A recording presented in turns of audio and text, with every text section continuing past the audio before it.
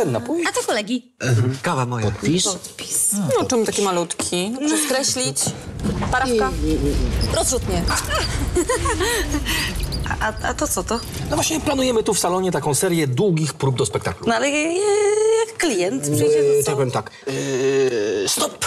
Yy, poczekaj, tu kliencie i po scenie na przykład, kiedy Marcin przychodzi z klasy do klasy. Na samych czwórkach praktycznie. Przystępujemy do pełnej obsługi klienta. Takie swoiste. Amplua. Déjà vu?